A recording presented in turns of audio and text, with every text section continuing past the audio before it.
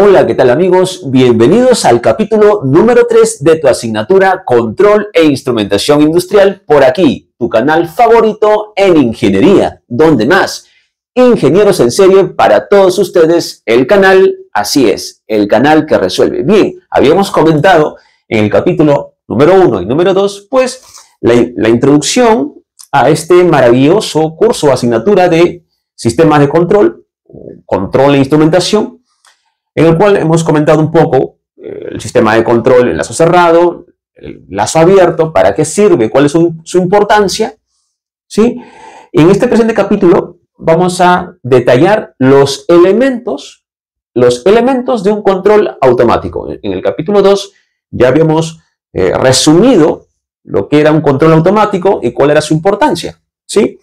En este caso vamos a, vamos a detallarlo aún más. ¿De acuerdo? Entonces, Vamos empezando. Muy bien. Elementos de un control automático. Son tres, básicamente son tres los elementos de un sistema de control automático. Número uno, elementos de medida. Número dos, el detector de errores. Y número tres, el elemento final de control. Tranquilos, tranquilos que vamos a explicar cada uno de esos elementos. Aquí les he presentado un diagrama de bloques ¿sí? Totalmente sencillo. Evidentemente se trata de un control en lazo cerrado, el feedback, es decir, en que tanto la, la salida como la entrada tienen que estar realimentadas, deben estar comunicadas. Y el elemento principal de esa comunicación es precisamente el primer elemento del control automático, elementos de medida. Aquí, por ejemplo, puede estar, los sensores, sensores, los transductores, ¿de acuerdo? Que, pueden, estos pueden estar dentro de lo que se denomina, de lo que se denomina, pues, transmisores, ¿sí? Dentro de los transmisores o contenidos, aquí, ¿no? Transmisores. Muy bien. Pues básicamente hay muchos elementos de, de medida, sensores de todo tipo que vamos a ir detallando en lo que es específicamente la rama de la instrumentación con muchos principios de medida, ¿de acuerdo? Que utilizan eh, principios físicos, ¿de acuerdo? Que, que vamos a ir detallando. Así que tranquilos, con calma, paciencia. Entonces, estos elementos lo que hacen es medir la variable controlada. Vamos a poner aquí variable controlada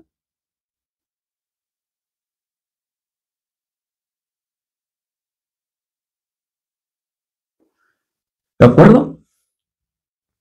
Dicho sea de paso, todo sistema de control automático es importante en, estos sistemas eh, identificar cuál va a ser la variable controlada, es decir, la variable de salida, la variable que debemos medir respecto a la variable manipulada.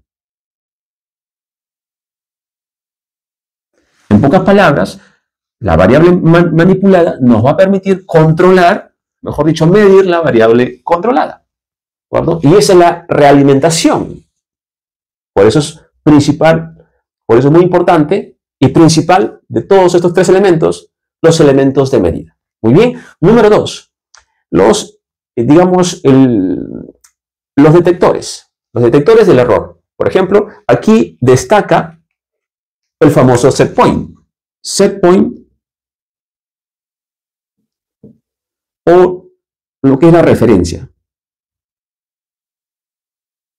¿De En todo sistema de control hay que tener un valor de referencia para la variable controlada. ¿De acuerdo? un valor de referencia. Valor de referencia. Claro, porque ¿cómo vamos a establecer un error si no sabemos cuál es nuestro valor deseado? Si no tenemos un rango establecido de valor, de valores de esta variable de salida. ¿De acuerdo? Entonces es importante detectarlos, ¿no? Usualmente este lazo que vemos aquí, este lazo cerrado está constituido de un sensor conectado, ¿no? A un transmisor que lo que hace es convertir las señales y transmitirlas a unas señales, pues, a escala industrial, la señal 420, 420 miliamperios, puede ser la señal 0,1 voltios, 0,5 voltios. Que, que, que, se puede, tiene diferentes, digamos, eh, clases de estas, pero vamos a detallarlo en, futuros capítulos. Lo importante es que, entiendan que ambos elementos se conectan y es muy importante que se conecten y tengan una comunicación perfecta. Porque si no tenemos un valor de referencia, no tenemos, eh, no podemos medir el error. Por ejemplo, por ejemplo, si tú quieres medir la concentración de un alcohol y que tu variable es controlada en la salida siempre sea de 45 grados de alcohol, por ejemplo, me lo medimos y, por ejemplo, yo quiero que sea 45 y mide, por, por ejemplo, 44. Entonces hay un error, se detecta ese error y se manda una señal al elemento final de control y ahí se establece las acciones a, a, tomar. Y sobre ese punto viene a ser el elemento número 3 y evidentemente no menos importante porque se trata de la acción o conocido como actuador. Muy bien, actuador. Perfecto. Y esos son los tres elementos clave en todo control automático. No te olvides, lo primero que debemos hacer es medir elementos de medida. Número uno, elementos de medida. Número dos, yo mido respecto a algo, no, no voy a medir a ciegas, claro, necesito un valor de referencia, ahí lo tiene, ¿no? Hay ciertas unidades de control en la cual tú puedes programar eh, la variable que deseas medir, ¿de acuerdo? Entonces, luego, esa señal llega al elemento final de control y se, se ve finalmente cuál es la decisión, la acción a tomar para que la variable controlada esté dentro de un rango de valores deseados. Entonces, un sistema de control automático se puede decir que tiene como objetivo, objetivo fundamental, es que utilizando una variable que vamos a manipular mediante actuadores, el objetivo tiene que ser mantener esa variable controlada dentro de un rango de valores esperados o valores deseados. ¿Y cómo se hace esto? Con este lazo cerrado. Con una retroalimentación en lazo cerrado, evidentemente, donde tiene que estar comunicado los elementos de medida como primer elemento el control automático, el detector de errores y, tercer punto, las acciones a realizar. ¿De acuerdo? Por ejemplo, por ejemplo, digamos que yo aquí tengo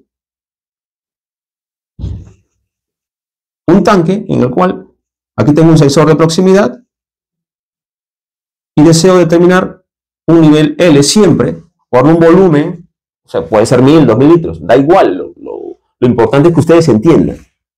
Entonces, ¿quién sería mi, variable controlada? Pues el nivel que yo deseo tener, ¿no?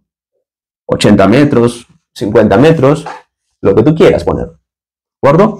Entonces, tú quieres mantener siempre ese nivel. Si tú gastas por aquí, gastas volumen de esa muestra, tú gastas evidentemente, pues este elemento de detector, este sensor lo va, lo va a medir y lo va a comparar.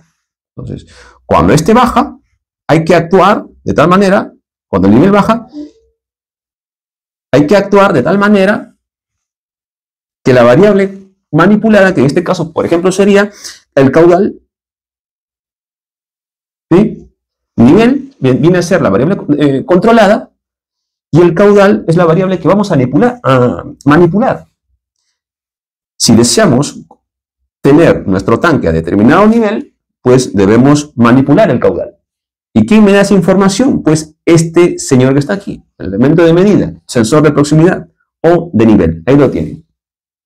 ¿De acuerdo? Muy bien. Otro ejemplo muy práctico, digamos, casi similar. Imagínate que tengo lo mismo y aparte yo necesito tener la temperatura de un tanque. ¿Sí? Acá tengo un calentador Vamos a representarlo por una resistencia simple. lo importante es que entiendan la idea del, control automático. Aquí tengo, por ejemplo, aquí voy a tener un sensor, un PT100, un PT1000 de temperatura. Va a medir la temperatura de esta muestra. Muy bien, yo deseo, digamos acá establezco un valor de referencia, una temperatura T, por ejemplo, y se da el caso, imagínate que yo estoy consumiendo una muestra, estoy consumiendo desciende el nivel, pues puedo, puedo poner, digamos, un, sistema automático para detectar el nivel.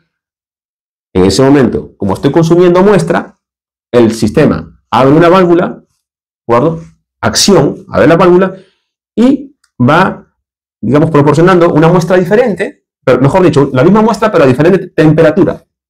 Entonces, evidentemente, esta temperatura va a variar. Entonces, ahí es donde entra a actuar este sensor de temperatura.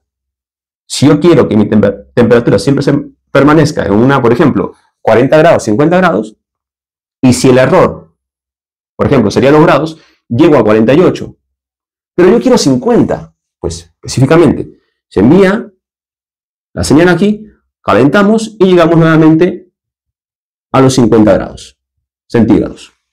¿De acuerdo? Esa es la importancia. Es automático. No necesita que alguien esté calentando ahí o que alguien encienda algo para calentarlo. Lo mismo aquí. Un sensor, eh, un control de nivel, pues no necesita que un operador esté mirando a ver si se gasta muestra, ¿no? Si, a, qué altura está el tanque, el nivel de muestra en el tanque. No se necesita la presencia de un operador. Por eso se denomina control automático. Y es importante entender cómo es que actúan estos elementos para que este control, este control automático, valga la redundancia, sea óptimo. ¿De acuerdo? Espero que con esta explicación quede claro. O sea, es importante y fundamental entender todos esos, estos elementos de control, ¿no? Y aquí les he dado dos sencillos ejemplos, ¿no? Vuelvo a repetir. Tienes un, una variable controlada que es el nivel, lo que tienes que manipular es el caudal, ¿de acuerdo? Mediante un nivel de referencia.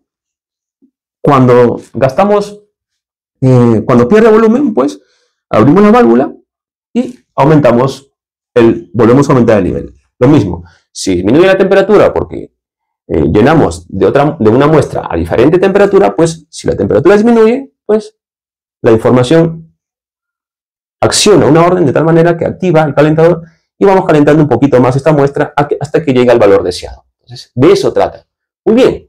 Entonces ya sabes si tienes eh, alguna duda, alguna pregunta o, sugerencia, alguna parte que quieras que explique, pues puede dejarla tranquilamente en los comentarios, ¿de acuerdo? Que yo siempre, de vez en cuando, me doy un tiempo para poder leer sus sugerencias. Así que comenta con total confianza. Y si tienes algún amigo que esté flojeando, que no esté estudiando, pues ya sabes, dile por favor qué, qué espera para suscribirse a Ingenieros en Serie y sobre todo activar la campanita para no perderse ningún episodio, ningún capítulo de todas estas asignaturas que estamos brindando. Así que nos vemos en otro episodio.